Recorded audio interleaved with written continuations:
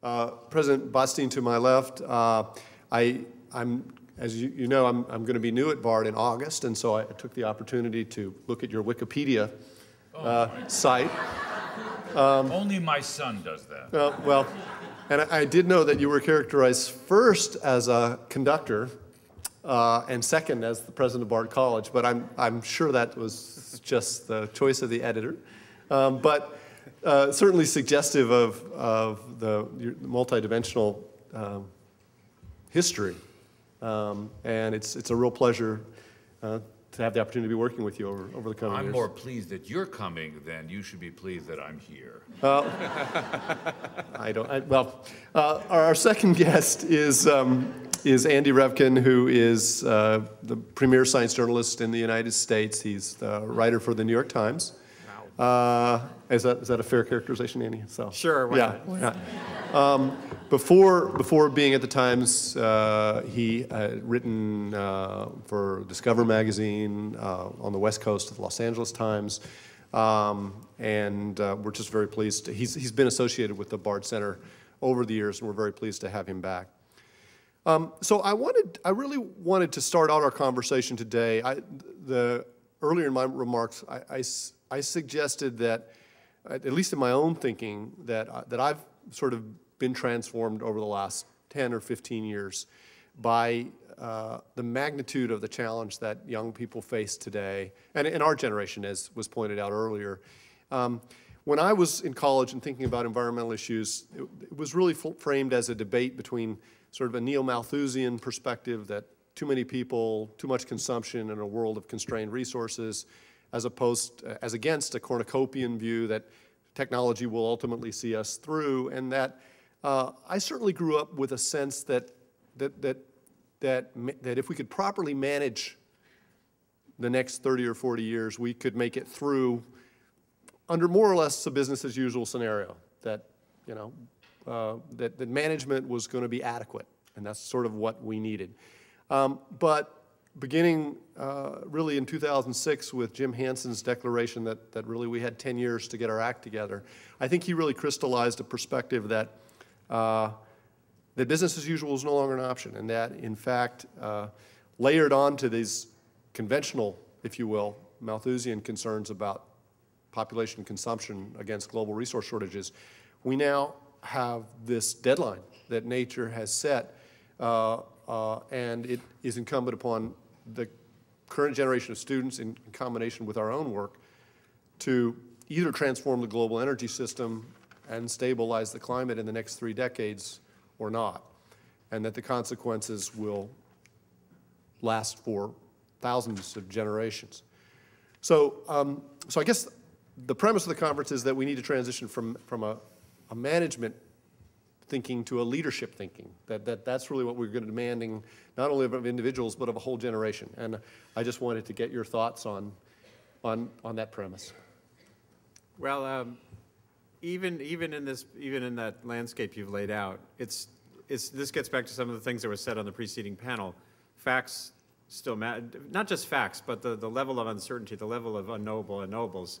Knowing, understanding as well as you can the, the lay of the land uh, is a premise for having the next steps happen, which are um, being a leader, because you have to know where you want to go. And, and as a journalist studying this arena now for 25 years, and just looking at climate as a sort of a subset of things that are complicated, like extinction, biodiversity, climate is the ultimate multi-spectral thing. Um, if you you have to be able to cut through some of the messaging. Not everybody, even Jim Hansen is, you know, he is one guy. He's, he's an outlier in some aspects of the science of climate change. Uh, the, the rate of sea level rise, when he talks about his definitions of danger, they're not what the, uh, any glaciologist that I know would say is their levels of concern about sea level rise. So, so somewhere in there, facts still matter. And then you still, so that means you still have to be somehow grounded in how to be a critical um, interpreter of information. And we live in a world now where we're surrounded by information. You, you know, having access to information is not the problem.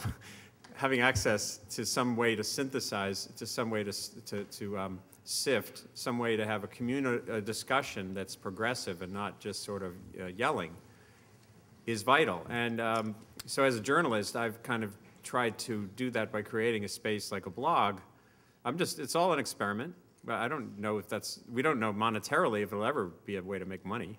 But, but it is a way to have a conversation that can be not just yelling.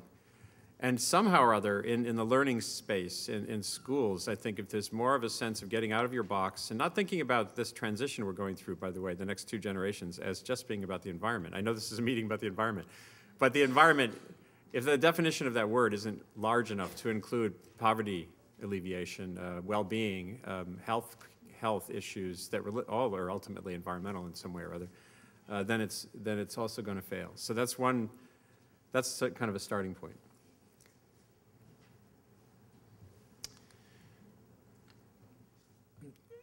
First of all, I think that um, I, I, agree that uh, as an outsider to the discipline um, and as a citizen, so in that sense, I'm typical for most people. There is the first order of business of trying to get clear, you know, what are the facts as best we can know them, what's the diversity of opinion, not only the facts, even there's no consensus, and what is the range of risk and the range of probabilities.